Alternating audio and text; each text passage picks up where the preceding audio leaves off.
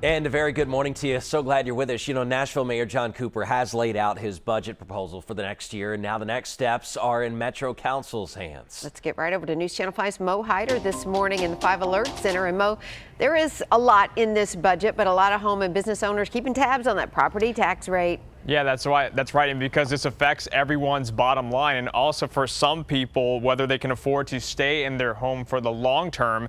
Now, Mayor Cooper delivered his second State of Metro address where he highlighted budget and policy priorities for next fiscal year. Today, Metro Finance will hear more details of his budget when he officially files a budget with council. But that property tax rate may be a hangup.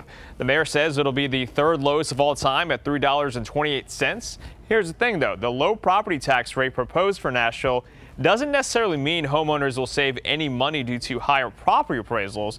Councilmember Member Freddie O'Connell says while the tax rate can change every year, it historically only changes when the appraisal is done every four years. This is something he hopes to simplify when he and other council members meet about the budget the thing I'm looking for right now is I want to stop having these difficult, frustrating, confusing year over year conversations about the rate in the history of Metro, the way this has worked is you do this once and then you don't really talk about property taxes again for four years, right? We've been talking about it for most of my time on council, which is it's exhausting for me. It's obviously exhausting for my constituents and, and those of my colleagues as well.